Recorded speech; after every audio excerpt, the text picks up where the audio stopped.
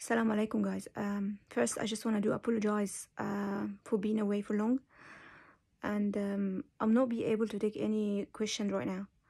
Um, so far um, I've been diagnosed with cancer stage 3 which I have since last year and I have no idea about it. And um, now I have to think about my life. I need to, it's a mess right now and I just need to put everything in order again.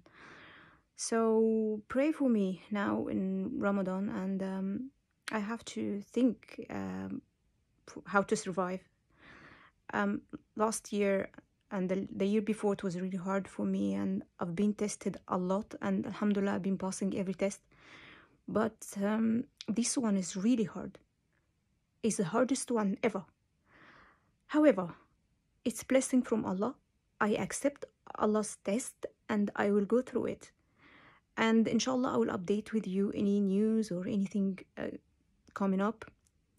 And um, again i do apologize and pray for me please. I will see you again inshallah. I'm, I'm still surviving. I'm still i try to survive so if, if i survive it inshallah i'll see you again. Assalamu alaikum